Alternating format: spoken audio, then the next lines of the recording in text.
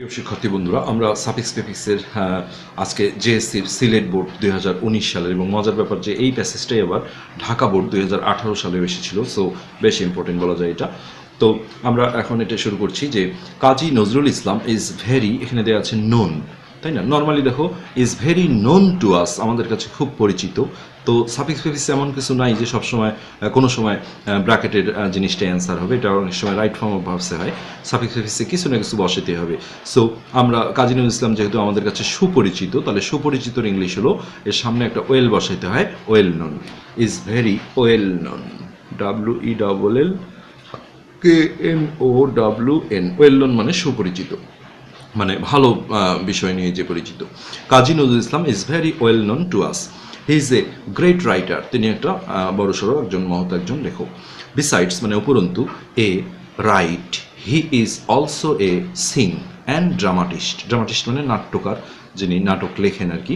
হ্যাঁ তাহলে দেখো কত সুন্দর বাক্যগুলো। He is a great writer তিনি একজন বড়সড়, মহান লেখক। বিসাইডস উপরন্তু মানে ওটা ছাড়াও, a besides a writer writer হবে বোঝা যাচ্ছে মানে রাইটার ছাড়াও W R I T E R writers দেওয়া যাবে না, যেহেতু এখানে এ আছে একজন। তাহলে বিসাইডস এ রাইটার মানে একজন রাইটার ছাড়াও হ্যাঁ হি ইজ অলসো এ তিনি একজন কি কাজী নজরুল ইসলাম কিন্তু গানও গাইতেন, গান যেমন লিখতেনও নজরুল সঙ্গীতগুলো তাছাড়া নিজে কিন্তু কণ্ঠে কিছু গানও গেয়েছেন। সো এটা হবে singer S I N G E R singer মানে গায়ক। তাহলে he is also a singer and dramatist মানে নাট্যকারও ছিলেন। উই গট, আগের বোর্ডে আমরা এটা নিয়ে আলোচনা করেছিলাম, ওখানে অ্যাসপায়ার ছিল। অ্যাসপায়ার থেকে অ্যাসপিরেশন বসাই বসিয়েছিলাম আমরা। অ্যাসপিরেশন মানে আশা আকাঙ্ক্ষা। ওইখানে আমি বলেওছিলাম যে কোনো কোনো বোর্ডে এরকম দেখা যায়, ইনস্পায়ার থাকে। ইনস্পায়ার থেকে ইনস্পিরেশন দিতে হয়। ইনস্পিরেশন মানে উৎসাহ উদ্দীপনা। তাহলে উই গট, আমরা পেয়েছিলাম ইনস্পিরেশন। অনেক সাফিক্স ফিক্স এই ইনস্পায়ারটা থাকে। তাহলে ইনএস পিআই পি রে আর এ শন হলো টিআই ওয়েন তাহলে ইনস্পিরেশন উই গট ইনস্পিরেশন আমরা উৎসাহ পেয়েছিলাম ডিউরিং মানে সময় আওয়ার লিবারেশন ওয়ার আমাদের মুক্তিযুদ্ধের সময় ফ্রম হিজ রাইটিংস তার লেখা থেকে। তিনি যে বিদ্রোহী গল্প বা কবিতাগুলো লিখতেন, এটাই বলা হয়েছে। তাহলে হিজ এখানে দেওয়া আছে কন্ট্রিবিউট কন্ট্রিবিউট মানে অবদান রাখা ভার্ব আর কন্ট্রিবিউশন মানে হলো অবদান। যখনই হিজ বলা আছে, তার তার অবদান এরকম হবে। তাহলে অবদানের ইংলিশ, এটা যখন নাউন হয়ে যাবে কন্ট্রিবিউশন হয়ে যাবে।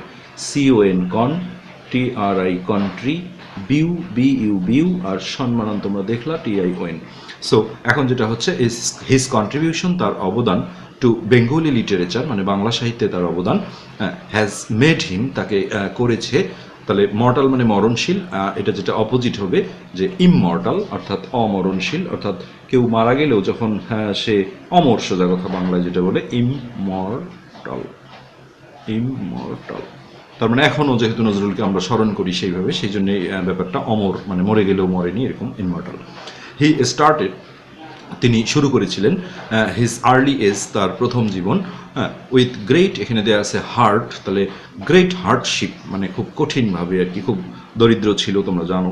Great hardship H A R D hard R S H I P hardship মানে খুব কঠিনভাবে আর কি, এরকম কঠিন অবস্থা যেটা, দারিদ্রতার সাথে।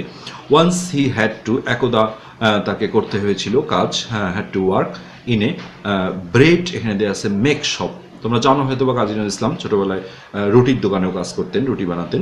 সেই বিষয়টা বলা হয়েছে, তাহলে ব্রেড মেকার শপ মানে যেখানে রুটি বানানো হয় hotel. Bread maker M A K E R bread maker shop for his এখানে দেওয়া আছে লাইভ তাহলে জীবিকা অর্জন যেটা যেটা দিয়ে সংসার চলে, এটাকে লাইভলিহুড বলা হয়। So L I V E live L I হবে livelihood H double O D livelihood তাহলে আমরা পরে প্যাসেজটা আবার পড়িয়ে দেবো, সমস্যা নেই। নাও এখন হি ইজ আওয়ার তাহলে জাতীয় কবি, তাহলে ন্যাশনাল পোয়েট ন্যাশন মানে জাতি আর ন্যাশনাল মানে জাতীয়। N A T I O N A L national poet he breath his last মানে শেষ নিঃশ্বাস ত্যাগ করেছিলেন ব্রেথ মানে নিঃশ্বাস নেওয়া হ্যাঁ যেটা মৃত্যু আর কি উনিশশো ছিয়াত্তর সালে। সো আমরা প্যাসেজটা দেখলাম এটা গুরুত্ব বেশ অনেক কেননা হ্যাঁ, দুইটা বোর্ডে আঠারো উনিশ সালে পরপর এসেছে। ঢাকা বোর্ড আঠারো সালে এসেছিল আবার সিলেট বোর্ডে উনিশ সালে। তো আমরা আরেকবার পড়ি জিনিসটা। Kazi Nazrul Islam is very well known to us আমাদের কাছে কাজী নজরুল ইসলাম সুপরিচিত। He is a great writer তিনি একজন বড় লেখক। বিসাইডস এ রাইটার মানে একজন লেখকের বাইরেও হ্যাঁ বা ছাড়াও he is also a singer তিনি একজন শিল্পী ছিলেন, গায়ক ছিলেন অ্যান্ড ড্রামাটিস্ট মানে নাট্যকার।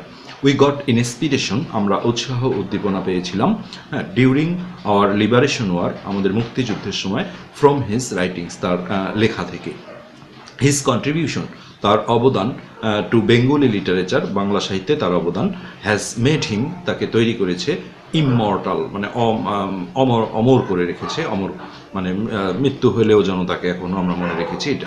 He started his early age তার প্রথম জীবন শুরু করেছিলেন উইথ গ্রেট হার্ডশিপ খুব কঠিনভাবে। Once he had to work in a bread maker shop একদা ফর হিজ লাইভলিহুড তার জীবিকার জন্য তাকে একসময় রুটি বানানোর দোকানে তাকে কাজ করতে হয়েছিল। Now he is our national poet তিনি এখন আমাদের জাতীয় কবি। He breath his last in nineteen তিনি শেষ নিঃশ্বাস ত্যাগ করেন উনিশশো ছিয়াত্তর সালে। তো আজকে এটা এ পর্যন্তই, পরবর্তী আমরা অন্য একটা বোর্ড নিয়ে আবারও আসব। ধন্যবাদ।